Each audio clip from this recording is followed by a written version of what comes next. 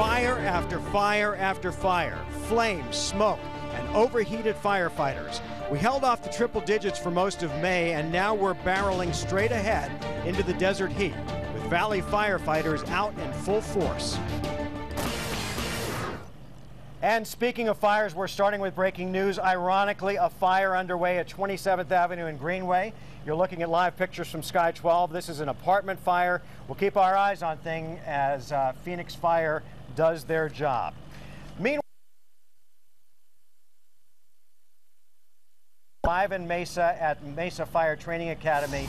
And after all the fires that we had yesterday, we started wondering, how do these brave men and women not only deal with going into fires, but now that the heat is on, with all of this gear which we're about to put on, how do they handle things? We're with Captain Ken Hall of Mesa Fire. Ken, thanks for having us out. Yeah, thank you for coming out today, Mark. And, and Caribe is standing by with a look at your triple D, uh, heat forecast. Uh, but before we do that, we want to kind of go through all of the gear that you guys, you know, put on. So uh, John is going to help me put it on, and, and, maybe you can explain as he goes through this routine uh, exactly what he's putting on. Yeah, absolutely, Mark here, but during the summer it's potentially difficult because of the um, difficulty in cooling down after you come out of the fire. What uh, Mark is actually putting on right now is called a Nomex hood. That protects his head, his neck, and also protects his uh, back of his ear area from the, the thermal impact. And uh, I can tell you it smells like smoke, so I know it's a legit one.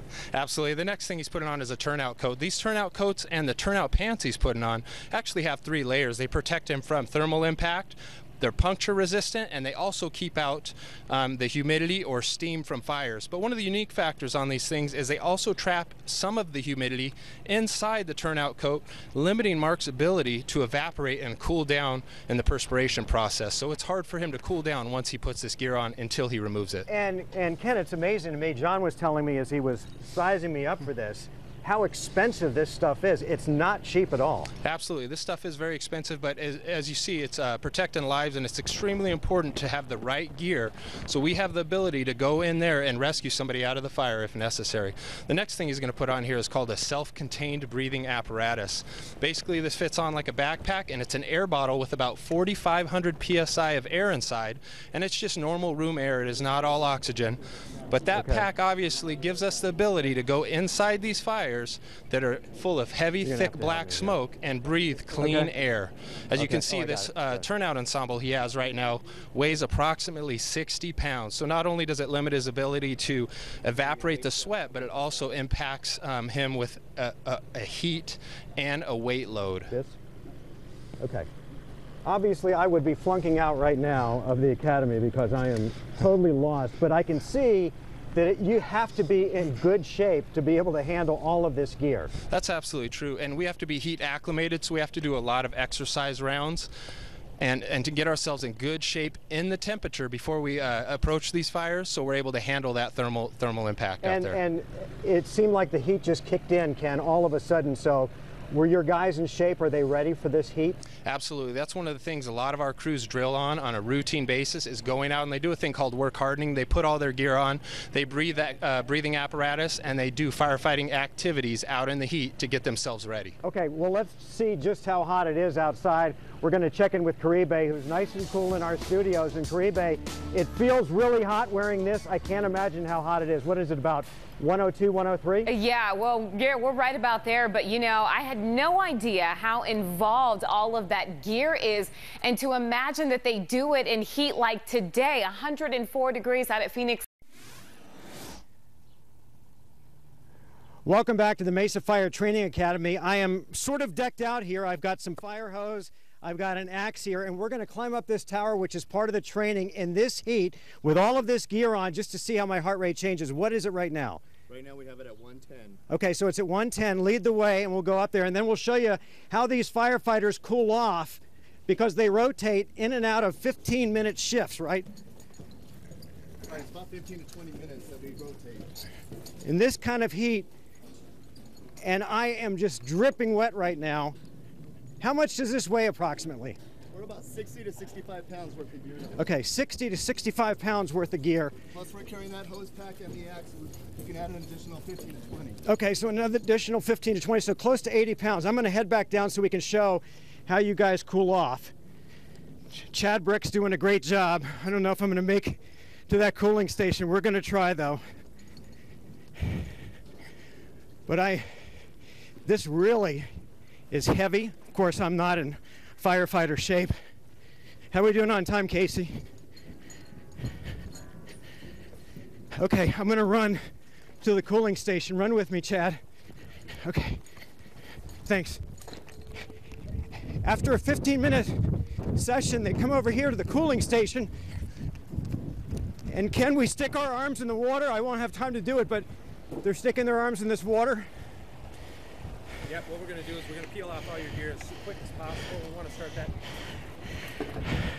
Okay, we'll toss the break. We'll be back here at Mesa Fire Training Academy after this. Now let's go out to.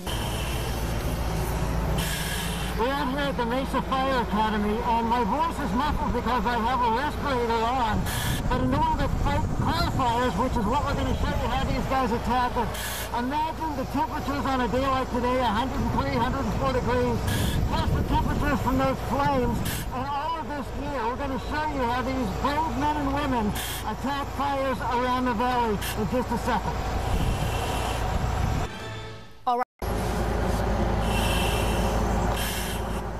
Thanks a lot. We're out here at the Mesa Fire Training Academy on a hot day, and we started thinking after all the fires that we saw yesterday, how tough it must be for firefighters around the valley to not only deal with the temperature from flames like that, but also from the sun, and then you add in 65 to 70 pounds of gear, and it's a very, very tough situation. We're going to turn it over to the captain here while we try to tackle this vehicle fire Okay. And you can watch as he narrates exactly how they tackle these sorts of fires. Like we talked.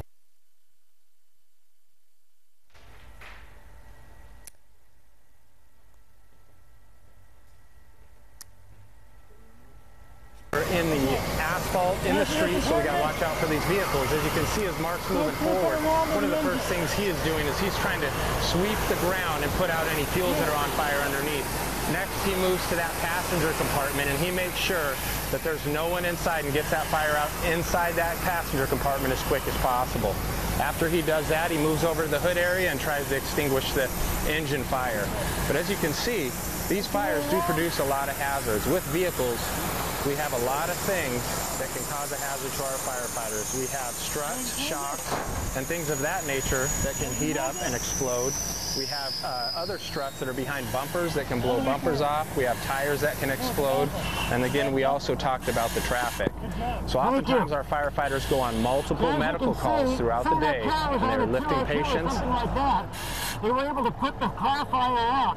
But I can tell you after being out here, I put on all the gear just a few minutes before we went on at 6 o'clock, and I am soaking wet. It is really hot inside this suit.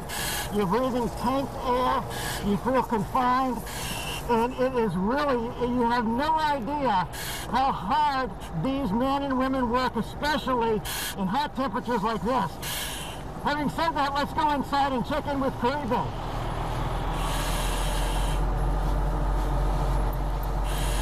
right, thanks, Mark. And it's hard to imagine, of course, doing all of that in the kind of heat that we're experiencing today. Well, we've established how these men and women out here at Mesa Fire deal with the extreme temperatures and all of this gear with the flames and the temperature of the sun. Next, we're going to see how they stay safe when they go into an extremely smoky environment. This room I'm about to go into, you won't be able to see me, but thanks to thermal imaging, they'll be able to keep an eye on what I'm doing. We'll show it to you when we come back. Wow, definitely have to stick around for that. Hey, it can't.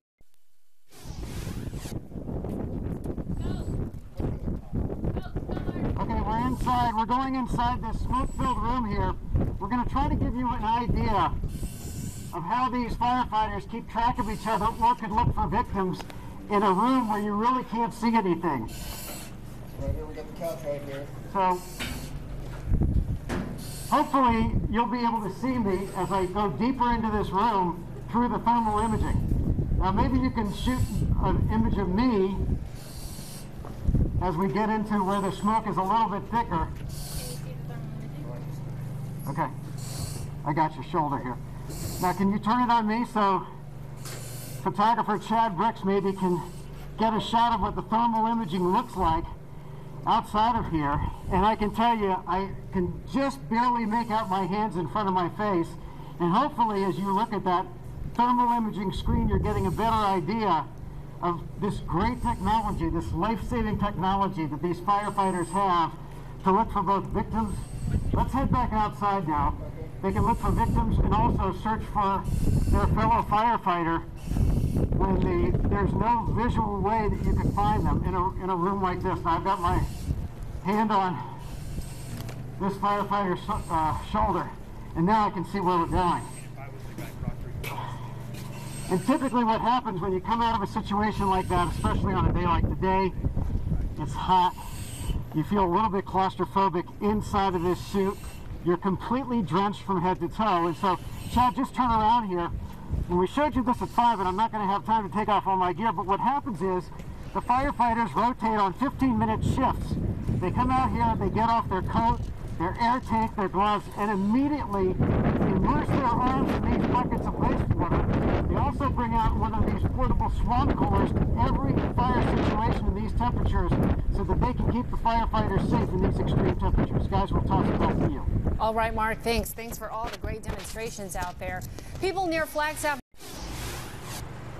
You know, I've always respected what the brave men and women who fight fires do, but it isn't until you actually put on this suit and you brave these temperatures and then feel the heat from the fire along with 75 pounds of equipment that you really get a sense of what they do. Dean Morales has just given me a quick check over on my vital signs and you try to rotate these guys in and out. Uh, Dean, they're telling me we're out of time, but uh, real quickly, thank you so much. You betcha. Thanks for coming out. Guys, we'll toss it back to you. All right, and let's